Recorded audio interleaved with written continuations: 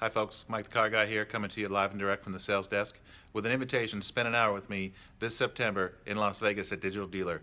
Last year, I shared uh, tips, techniques, and strategies on how I built a dealership's digital presence and brand. And this year, I want to take it up a notch and help you build your dealership's presence, brand, reputation, and everything online with social. Everyone knows that the car business is busy. I'm here at the sales desk. It's late at night. I just closed the store. I know what it's like, but I still think that social is important enough that it's worth my time to make sure that the companies that we're paying to manage the social presence for our store are doing their job and I'm holding them accountable to make sure that everything is as good as it could be.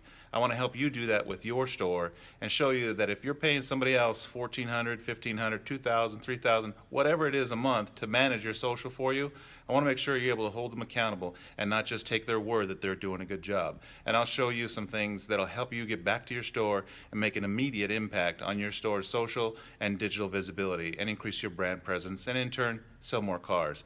Spoiler alert, after my session, some vendors may get fired and that's okay, but that's not my intent. My intent is to help you help your store build your brand, grow your digital presence, sell more cars, and have fun doing it.